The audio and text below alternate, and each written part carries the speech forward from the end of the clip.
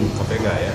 Nah kita tahu bahwa sampai sekarang eh, eh, beberapa kasus terkait dengan pengelolaan sumber alam, baik itu misalnya eh, kerjasama antara eh, apa, KPK dengan berbagai kementerian ya, terkait dengan eh, korupsi di bidang minerba ini eh, harus terus dijalankan. Kemudian juga terkait dengan pengelolaan sumber hutan ya, yang mana eh, ada kerjasama juga antara dua kementerian dengan KPK yang yang terkait dengan pengukuran hutan. Nah ini saya kira eh, terkait dengan korupsi sumber daya alam semua eh, menjadi prioritas kerja di KPK sehingga dengan adanya pelemahan KPK ini eh, kami tentu eh, mengkhawatirkan eh, pengenaan pengenaan kasus terkait dengan korupsi eh, di bidang pengelolaan sumber alam ini bisa terhenti.